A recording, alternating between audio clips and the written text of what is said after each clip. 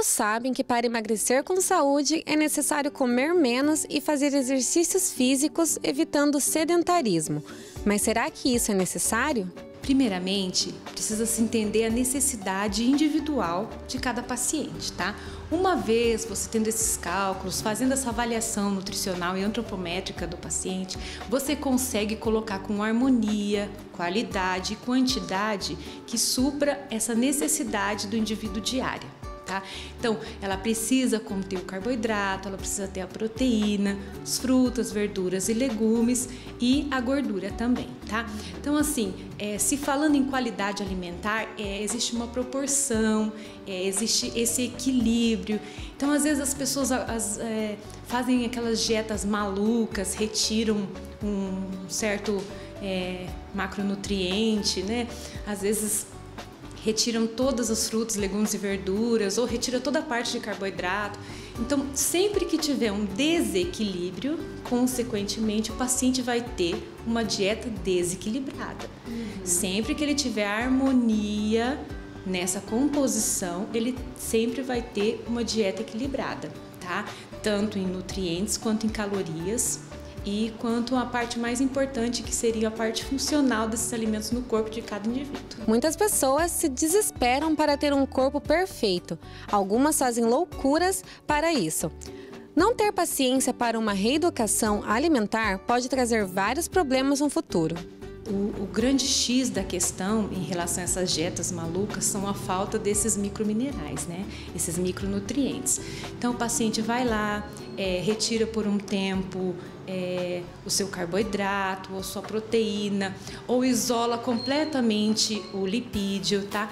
Então se ele não ingere é, as gorduras, tá? Isso eu tô falando gorduras do bem, tô falando as nossas gorduras necessárias, né? Porque até o próprio corpo, ele nos fornece colesterol suficiente para a gente viver, então a gente não precisa tanto a ingestão alimentar dele.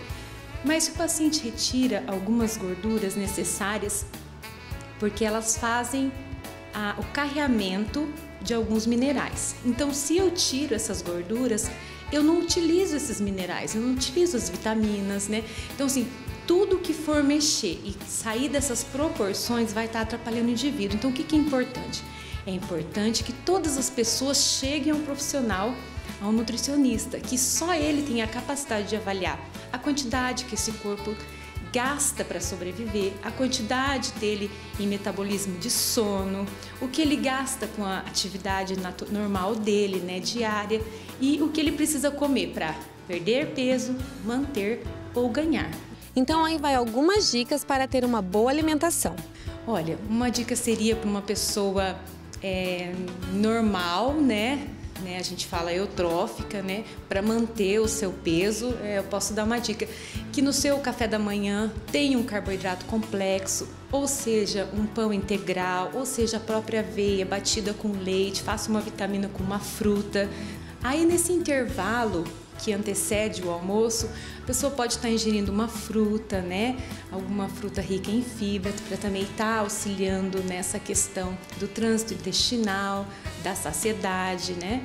E no seu almoço tenha um bom carboidrato, que seria de uma escolha dessa parte da pirâmide que a gente costuma dizer escolha um, né, que tenha uma proteína de alto valor biológico, que seja carne, uma carne magra, ou que seja um frango sem a pele, tá?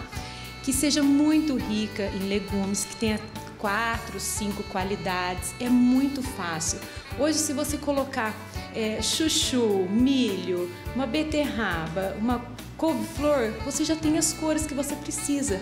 Então, não necessariamente você, utiliza, ah, você diminui a quantidade do teu carboidrato um pouquinho e aumente os legumes, né? Você está aumentando a fibra, está aumentando a, a questão alimentar e com isso alguns milhares de nutrientes. E ao contrário do que algumas pessoas fazem, retirando o jantar, é muito errado. Então, a pessoa não pode ir dormir sem ter jantado. A gente tem até uma refeição extra que chama-se ceia. Então, se a pessoa almoçou todos esses itens que eu já falei, ela precisa também jantar, porque senão o metabolismo para, ela para de gastar energia e assim sucessivamente ela perde toda tudo que ela fez durante o dia de benéfico, ela perde à noite. Então, precisa sim montar um prato com o seu carboidrato, uma boa escolha, a sua carne, seus legumes. E antes de dormir, de repente uma fruta, ou agora no frio tá gostosinho, né, um chazinho, alguma coisa assim.